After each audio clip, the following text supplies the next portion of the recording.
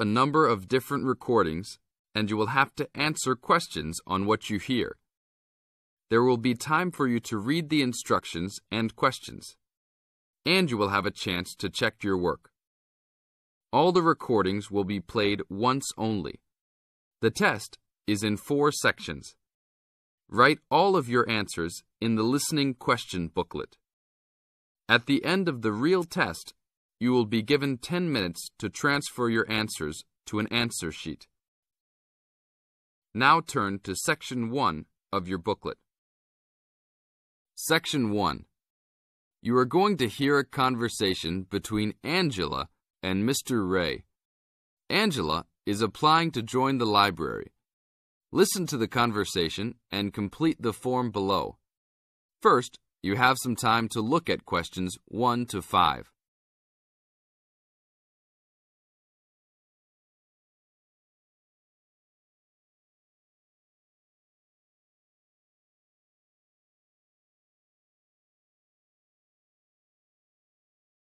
You will see there is an example which has been done for you. On this occasion only, the conversation relating to this will be played first. Hello, how can I join the library? Well, you need to make an application. Would you like to do it now? Yes, if I can. One moment and I'll get the form. Now, I just need to ask you a few questions before you sign at the bottom. Okay. Your full name, please. Angela Mary Price. Price? Yes, that's right. Angela's surname is Price. So in the example, Price has been written down after surname. Now we shall begin. You should answer the questions as you listen, because you will never hear the recording a second time. Hello, how can I join the library? Well, you need to make an application. Would you like to do it now? Yes, if I can. One moment and I'll get the form. Now, I just need to ask you a few questions before you sign at the bottom. Okay. Your full name, please. Angela Mary Price. Price? Yes, that's right. Okay. And your address? Apartment 3, 86 Bridge Street, Pimlico. Bridge Street. That's just near here, isn't it? Yes, not very far. Good. So the postcode must be 2065, right? Yes, that's right. Now, your telephone number. I need both home and work if you have them. My home number is 8763 5142, and work is 8456 1307. Do you need anything else like ID or something? Yes, your driver's license will do, if you have one. Right. It's easy to remember. I know it by heart. 4040AC. I'm afraid I'll also need to see it. Okay, here it is. Thanks. And your date of birth, please? 24 March 1981. Okay, thanks. That's the most important part completed. But if you don't mind, I'd also like to ask you a few questions for a survey we're conducting. Yes, that's okay. Now you have some time to read questions 6 to 10.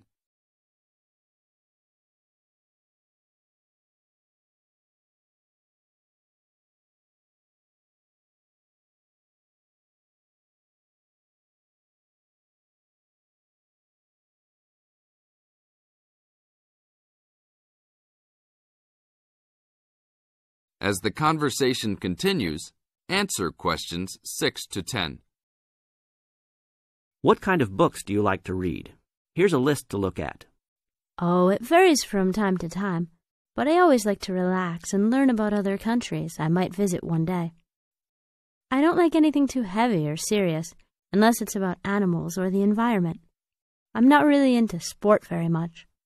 Anything else? Well, I do like entertaining at home. You know, dinner parties. So I suppose you'll have something for me in that line.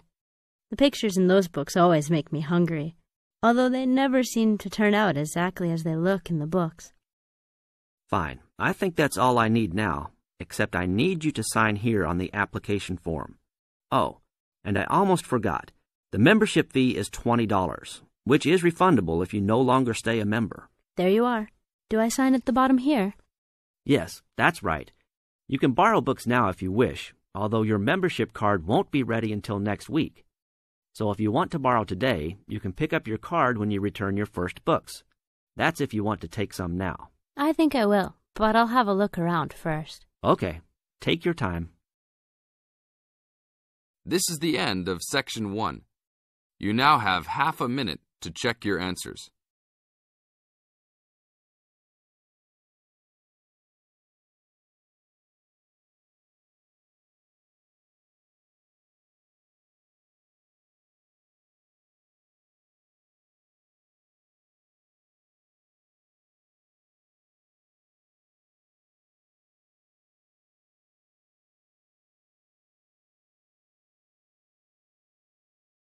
Section 2.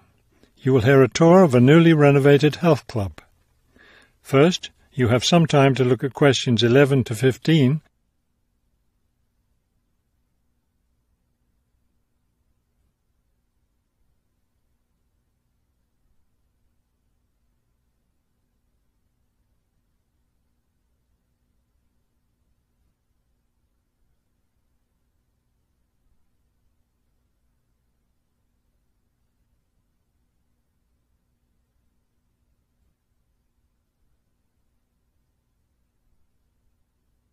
As you listen to the first part of the talk, answer questions 11 to 15.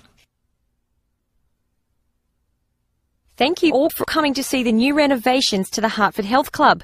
I know you'll be as pleased as I am to see the wonderful results of our months of hard work to improve the club and bring you the best facilities ever. We'll begin in here with the swimming pool. You'll notice the new colour of the adult pool, a lovely cool green. Now walk over here and look at the children's pool. It's the same green, but as you see, with brightly coloured sea creatures painted everywhere. Both of the pools needed painting, not only for maintenance, but I think the new colour greatly improves the atmosphere of this part of the club. Next, let's take a look at the locker rooms. Don't worry, there's no one using them just now. Doesn't it feel roomy in here? We've expanded both the men's and women's locker rooms, so now they'll be much more comfortable to use. There are bigger lockers, a good deal more room in the dressing area, and more places to store extra towels and equipment. Be careful as you walk through here. The floor's just been polished and may be a bit slippery. Let's go up to the exercise room next. Here, you'll notice a new floor. Walk on it. Doesn't that feel comfortable? It's a special material, softer than the old floor, an ideal surface for jogging and exercising. They had to move all the exercise equipment out while they were working on the floor, but don't worry, it will be brought back in before the end of today. Let's step outside now and look at the tennis courts. We haven't done a great deal here except to the equipment. We replaced all the nets and the ball throwing machine. Otherwise, everything is the same as it was before. Let's walk down this hallway, and here we are at the club store in its new location. We thought here by the entrance was a better place for it than where it used to be by the swimming pool, but it still has all the same items for sale sports equipment and clothes in the club colours.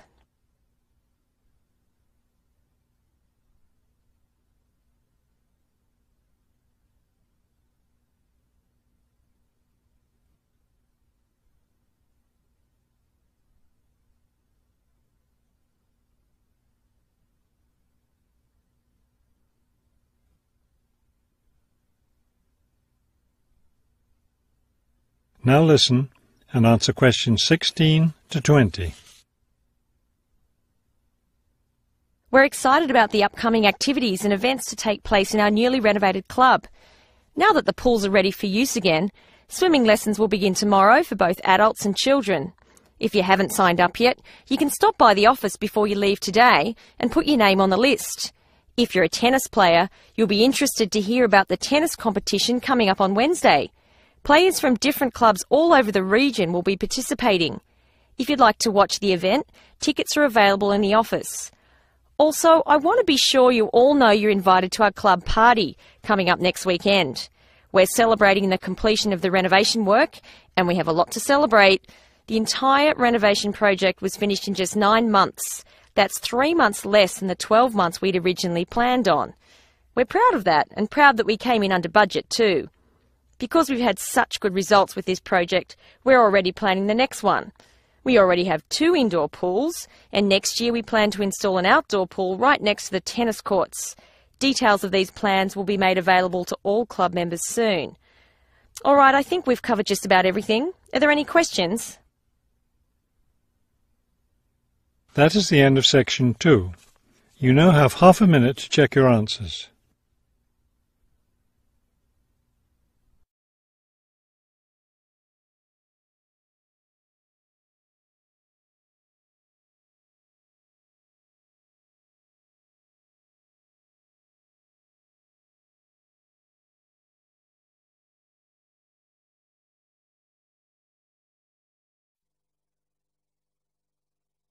Now turn to section 3 on page 112.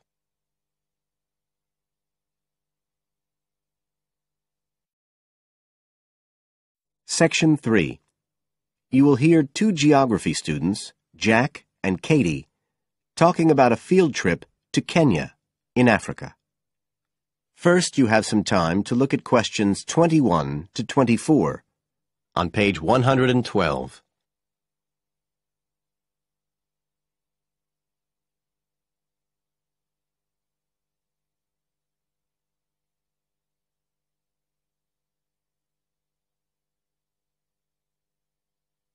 Now listen carefully and answer questions 21 to 24.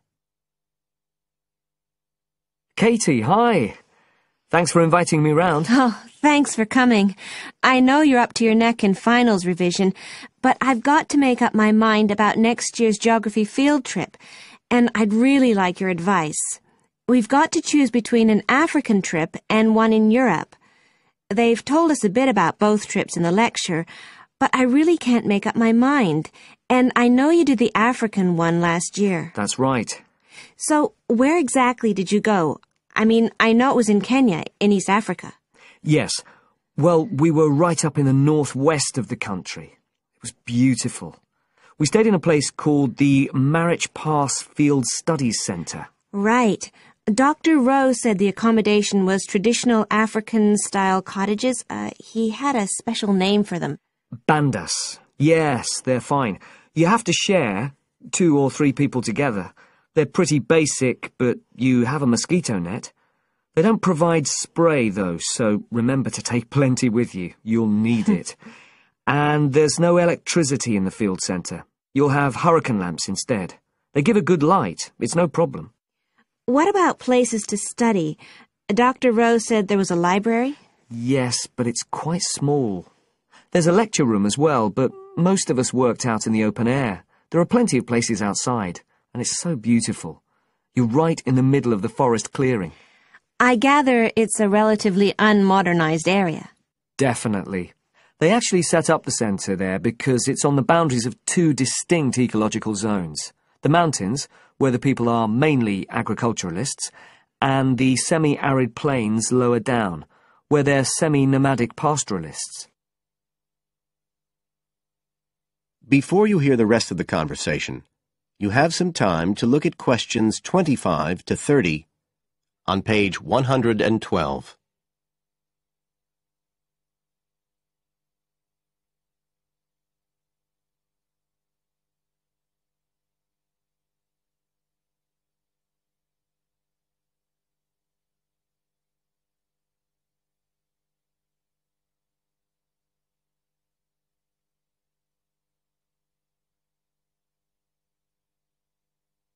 Now listen and answer questions 25 to 30.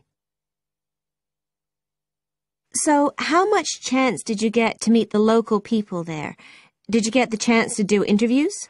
Yes, though we had to use local interpreters, but that was okay. Then we did field observation, of course, looking at environmental and cultural conditions, and morphological mapping.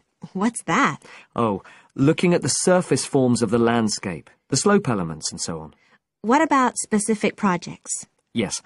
After the first two or three days, we spent most of our time on those.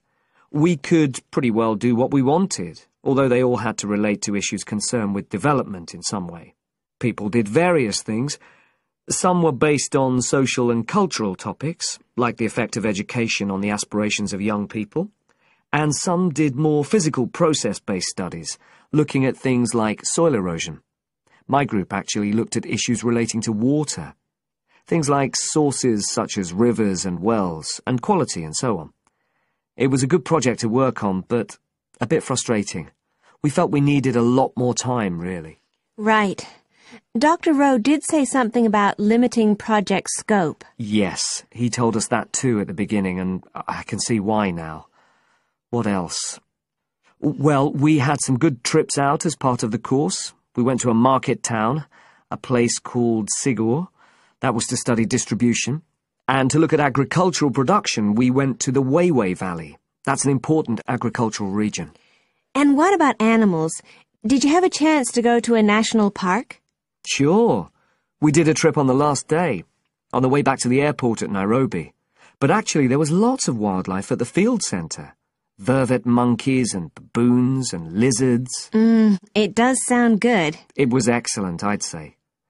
In terms of logistics, it was very well run. But it was more than that. I mean, it's not the sort of place I'd ever have got to on my own. And it was a real eye-opener. It got me really interested in development issues and the way other people live. I did find it frustrating at the time that we couldn't get as far as we wanted on the project, but actually I'm going to follow it up in my dissertation.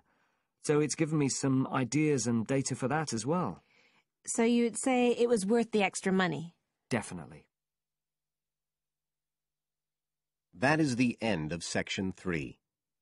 You now have half a minute to check your answers.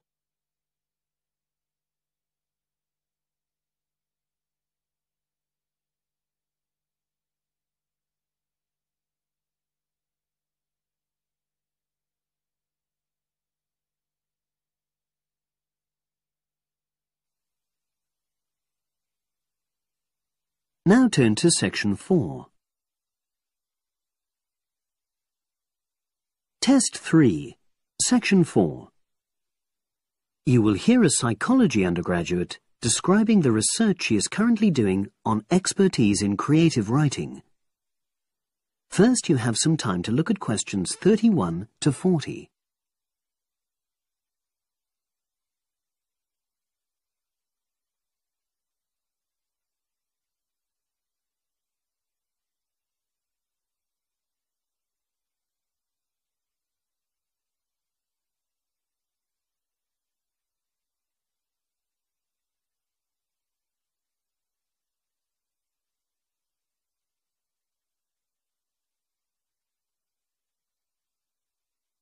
Now listen and answer questions 31 to 40.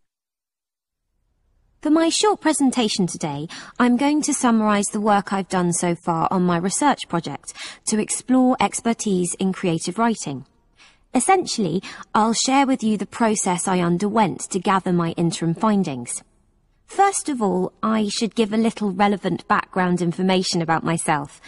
Before I started my current degree course in cognitive psychology, I studied English literature, and as you can imagine, this meant I spent a great deal of time thinking about the notion of creativity and what makes people develop into successful writers. However, the idea for this research project came from a very specific source. I became fascinated with the idea of what makes an expert creative writer when I read a well-known 20th century writer's autobiography. I won't say which one at this stage, because I think that might prejudice your interpretation.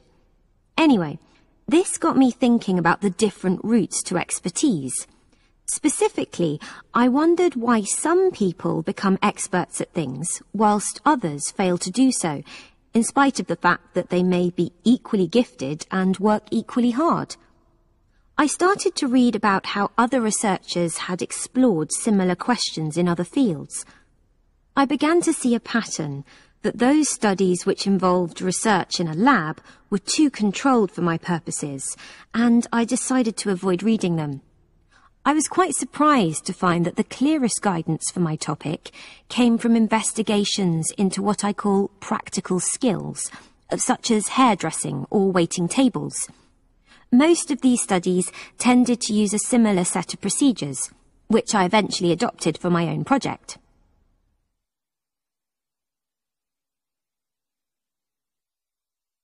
I'll now explain what these procedures were. I decided to compare what inexperienced writers do with what experienced writers do.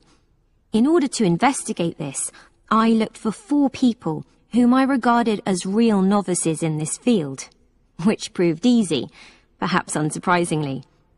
It proved much harder to locate people with suitably extensive experience who were willing to take part in my study.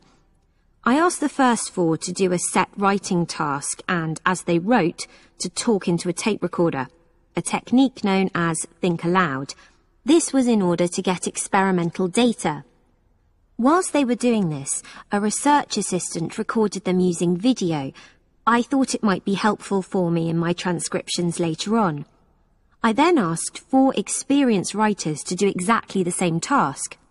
After this, I made a comparison between the two sets of data, and this helped me to produce a framework for analysis. In particular, I identified five major stages which all creative writers seem to go through when generating this genre of text. I think it was fairly effective, but still needs some work, so I intend to tighten this up later for use with subsequent datasets.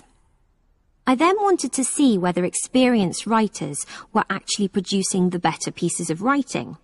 So I asked an editor, an expert in reviewing creative writing, to decide which were the best pieces of writing. This person put the eight pieces of work in order of quality, in rank order, and using his evaluations, I was then able to work out which sequence of the five stages seemed to lead to the best quality writing. Now, my findings are by no means conclusive at this point. I still have a long way to go. But if any of you have any questions, I'd be happy to answer them and go. That is the end of section four. You now have half a minute to check your answers.